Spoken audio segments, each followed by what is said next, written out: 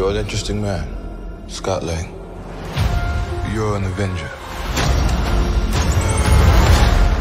You have a daughter, but you've lost a lot of time, like me. Who are you? I'm the man who can give you more time. Scott, you cannot trust him. I just lost so much. He can give us a second chance. You will bring me what I need, or everything you call a life will end.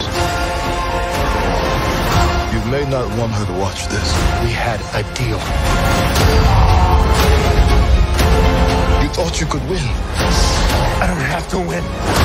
We both just have to lose. Sorry, Cassie.